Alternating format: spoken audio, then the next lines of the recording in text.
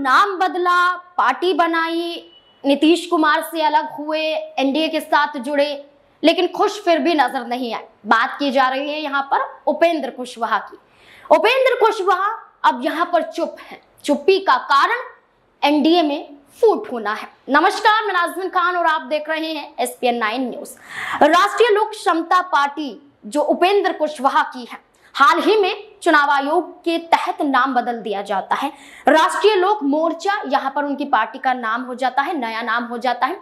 लेकिन देखा जाए तो उपेंद्र कुशवाहा एक ऐसी छवि वाले हैं जो एनडीए के साथ जुड़े इस उम्मीद से कि एनडीए उन्हें उनकी मनपसंद सीटें देती हुई नज़र आएँगी। लेकिन यहाँ पर यह देखा गया कि बिहार में प्रधानमंत्री नरेंद्र मोदी आए। बिहार में नरेंद्र मोदी आए और बेगूसराय गए, औरंगाबाद गए, लेकिन चिराग पासवान के साथ साथ एक और चेहरा था जो वहाँ पर नहीं पहुँचा।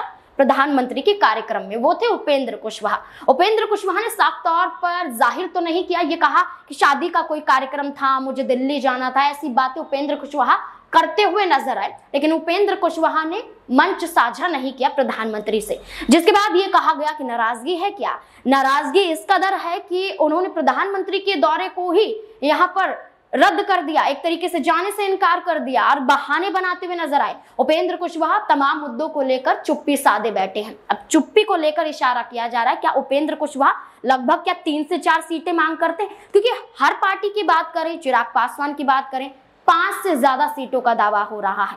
यहाँ पर जीतन राम मांझी चार से ज़्यादा सीटों का दावा कर रहे हैं। तो वही उपेंद्र कुशवाहा भी सीटें मांगते हुए नज़र आ रहे हैं। लेकिन अब सवाल ये उठ रहा है कि क्या जो बिहार में अभी तक सीटों को लेकर बंटवारा नीतीश कुमार नहीं कर पा रहे हैं।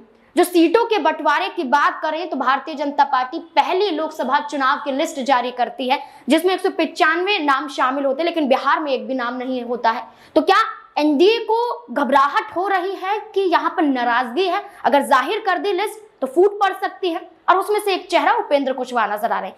क्या ऐसा संभव नज़र आ रहा है? क्या लगता है आपको? कमेंट सेक्शन में ज़रूर बताएँ। वाकई उपेंद्र कुशवाहा क्या एनडीए छोड़ने के फिराक में है? या चुप्पी के मायने कुछ और है? एनडीए वाकई टूट रही है? क्या कुछ लगता है आपको? अपनी राय कमेंट सेक्शन में ज़रूर दें। देखते रहे इस नाइन न्यूज़। धन्यवाद।